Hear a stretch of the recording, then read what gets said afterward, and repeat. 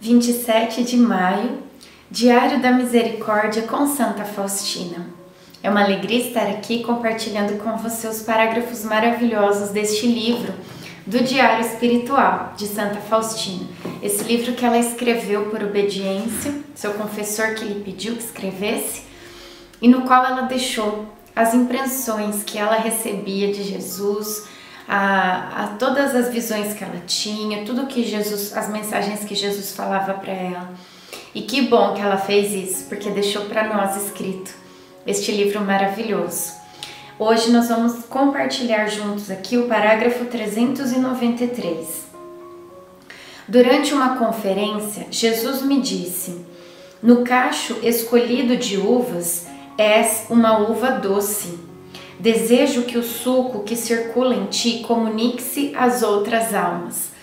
Então Jesus dizia para ela que ela era um cacho de uva. Você lembra daquela passagem do Evangelho em que Jesus diz: Eu sou a videira e vocês são os ramos? Então nós temos que estar ligados a Jesus. E ele diz para Santa Faustina que ela, das uvas que ele tinha na sua videira, vamos dizer assim, né? Ela era um cacho doce. Então, nós temos numa videira vários cachos de uvas. Nós temos as uvas mais bonitas, as uvas mais redondinhas, as mais doces, os maiores cachos, os cachos pequenininhos. Cada um de nós somos esses cachinhos de uva de Jesus. E ele disse para ela: Você é um cacho doce. Que isso quer dizer que a alma dela era uma alma doce, que era uma alma que acolhia, que era uma alma pura, que era uma alma que estava unida a ele.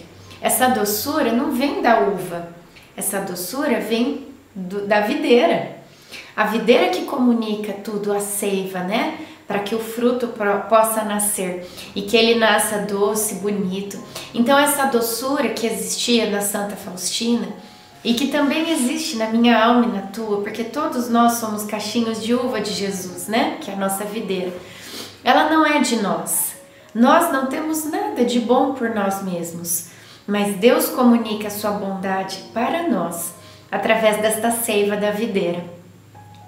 E o que, que Jesus pedia? Que essa doçura fosse comunicada às outras almas. A uva ela não nasce para ser doce, para ficar lá bonita, pendurada e ali secar e morrer.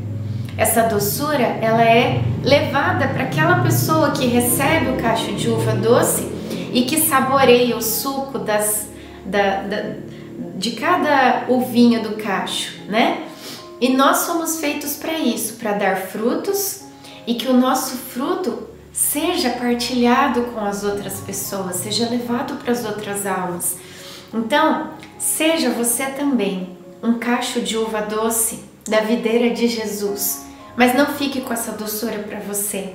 Faça como Jesus pediu para Santa Faustina Leve a sua doçura para os seus irmãos e irmãs. Transmita essa doçura para as outras pessoas. Que nós possamos ser como Santa Faustina. Jesus, eu confio em vós.